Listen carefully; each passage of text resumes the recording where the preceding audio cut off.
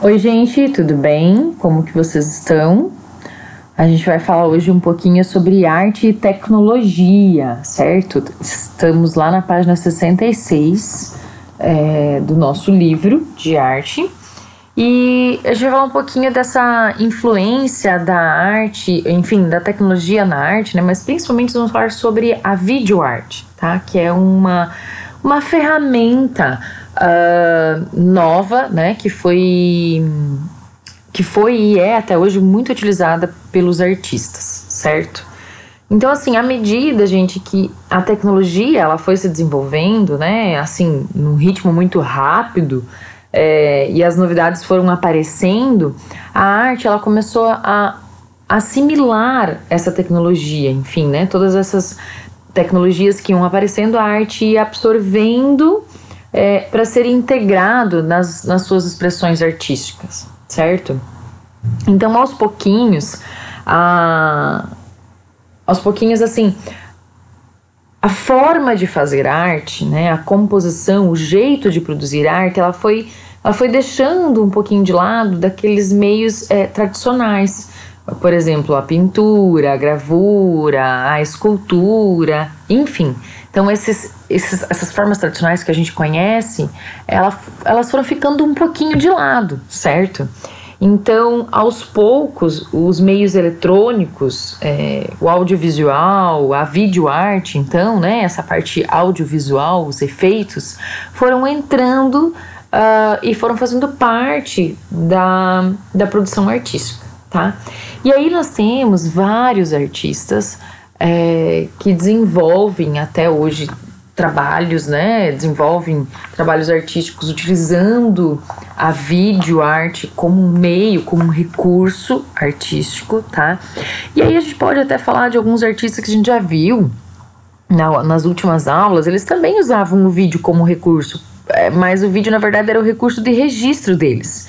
E tem outros artistas que usam o vídeo como recurso para a produção da obra de arte. Então, para a gente conhecer a obra de arte, eles usam o vídeo como um recurso, certo? Então, aqui eu vou mostrando algumas imagens para vocês, imagens é, de vários artistas que vão utilizando o vídeo, né? Essa chamada vídeo arte como um recurso uh, para a produção artística. Tá? No Brasil, a gente tem até um, um um artista, né, que é o Otávio Donassi, ele ele aplicou é, a videoarte, né, essa linguagem, a linguagem artística, para o campo da performance, que é, que é uma performance que carregada um pouco de teatro, certo? Então ele usa a videoarte dentro de uma apresentação teatral né? Digamos que foi mais ou menos assim. E ele criou as videocriaturas, que, que eram personagens, pessoas uh, que se vestiam de preto com uma cabeça, e essa cabeça uh, era uma tela, como se fosse uma tela da televisão, que ia mudando a imagem, tá? Bem interessante, então, essa forma que ele foi utilizando a a videoarte, né, nessas, dentro do seu trabalho. Ele até chegou a chamar de videocriaturas, né? é, esses personagens que ele foi desenvolvendo. Bom, então, dentro uh, dessa percepção, opa, desculpe, dentro, dentro dessa percepção uh, artística, né? É, a arte, a, a, a questão tecnológica, ela veio para ficar dentro da produção artística uh, contemporânea, certo? Então, os artistas contemporâneos são os artistas que mais se utilizam dessa tecnologia. E agora, nesse momento que nós estamos vivendo de pandemia, muito mais se utiliza da, uh, do formato tecnológico, né? Das, da videoarte ou, enfim, de outras formas que possam nos aproximar da arte, né? Formas tecnológicas.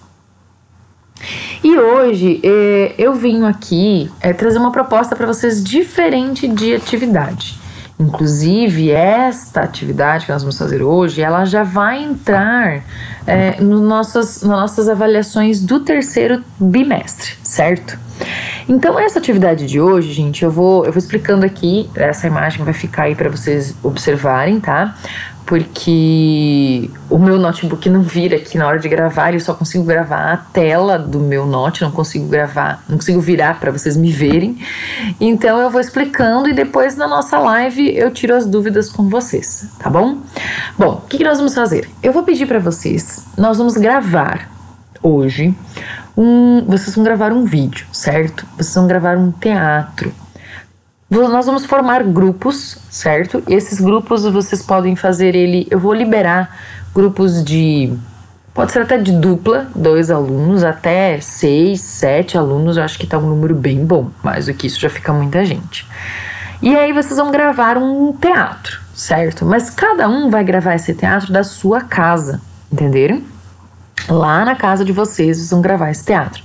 Então vocês vão combinar, podem fazer um grupo de WhatsApp se vocês acharem melhor, façam uma live só de vocês, do grupo de vocês. E aí vocês vão combinar os detalhes para esse esse trabalho que vocês vão desenvolver, OK? E vão me enviar. É bem provável que talvez vocês não vão conseguir enviar no Ava ou vão ter que baixar bastante a qualidade dele para me enviar lá, porque vai ficar um vídeo um pouquinho maior, um vídeo aí de uns dois minutinhos, mais ou menos dois minutos e meio, no máximo até três, tá? Eu acho que mais do que isso já fica talvez muito grande. E aí vocês vão gravar um teatro, mas esse teatro de vocês vai ter um tema que nós vamos chamar de expectativa realidade. Vocês vão gravar uma expectativa realidade, certo?